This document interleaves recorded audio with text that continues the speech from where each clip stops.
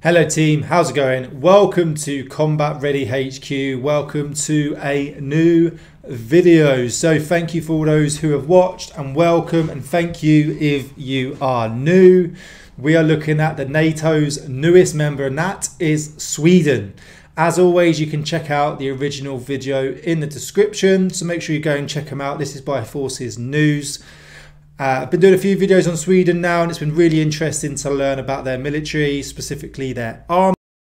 Be sure to check out our free Discord if you want to join the community. The community is growing and it's brilliant. I'm really enjoying it, and it's great to see it grow.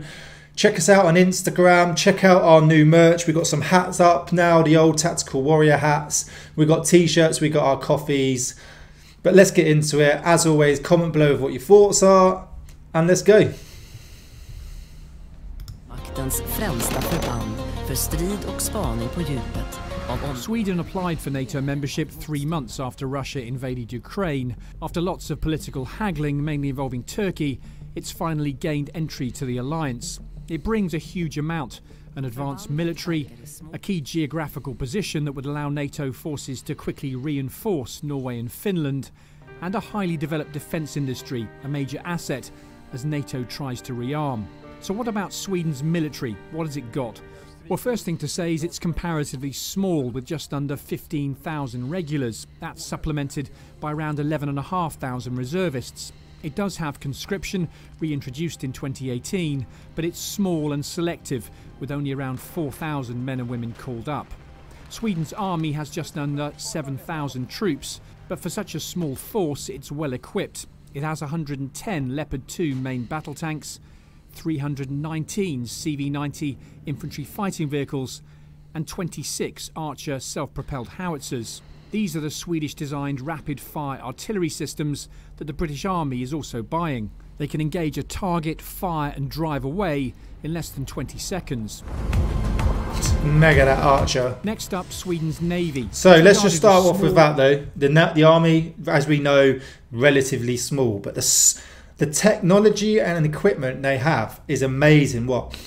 Our armies two seven just over 70 odd thousand. We have 213 challenger 2s looking at getting the challenger 3 they've got 7000 and they've got 110 leopard 2s one of the best uh, main battle tanks out there at the moment. The archer which looks absolutely brilliant. I've seen it engage i've seen it fire and the british army is buying it.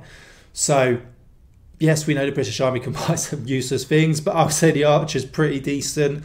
I've watched videos on the Rangers as well, you know, the Hunter soldiers, and they are highly professional. So the Army does add a lot to NATO, and obviously the biggest thing, the geographical location between Norway and but Finland. Very capable, bigger than every other navy in the Baltic except Germany's. It tends to operate exclusively in the Baltic Sea and along the country's west coast. In terms of personnel, it has around 2,300, half as sailors, half amphibious forces. Vessel wise, Sweden has, amongst other things, four submarines, five corvettes, and seven mine warfare ships. Sweden's Gotland submarines have a unique engine that uses the power generated by expanding and contracting gases to drive the subsystems. It makes them particularly quiet and means they don't have to surface for weeks. That's good, isn't it? Finally, so straight away, Going into the Navy, then. Very, very small, but they got four submarines. There's not many nations out there that can say they've got four decent submarines. Okay, they're adding a lot to NATO. Its impressive air force to the North Atlantic Alliance.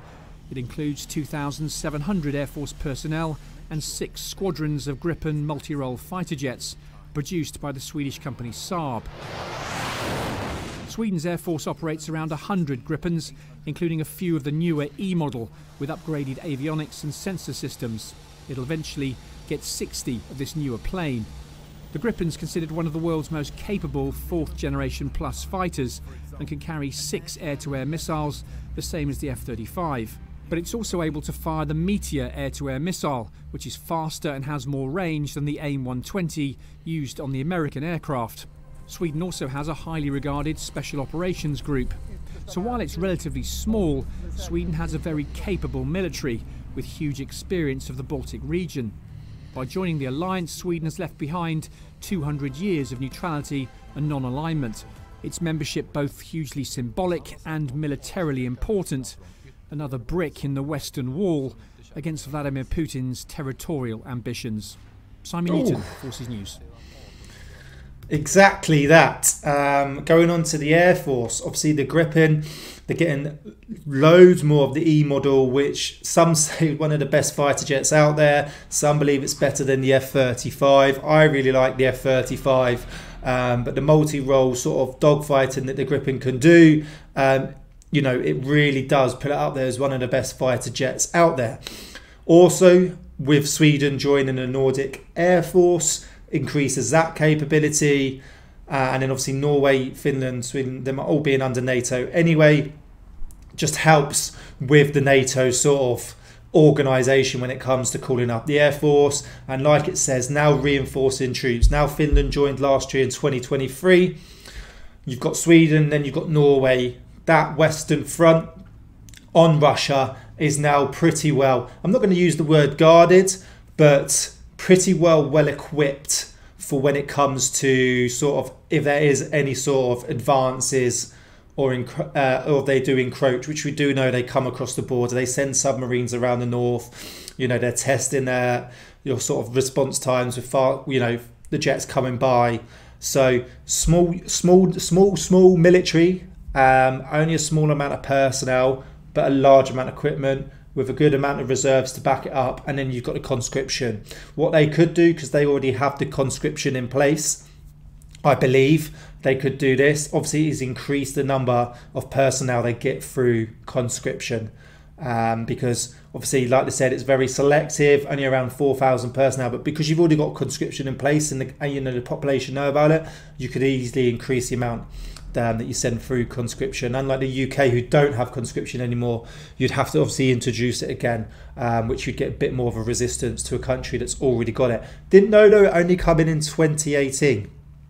Personally, I think Sweden is a well equipped, well trained military. Yes, the numbers are low, and I think they would struggle on their own.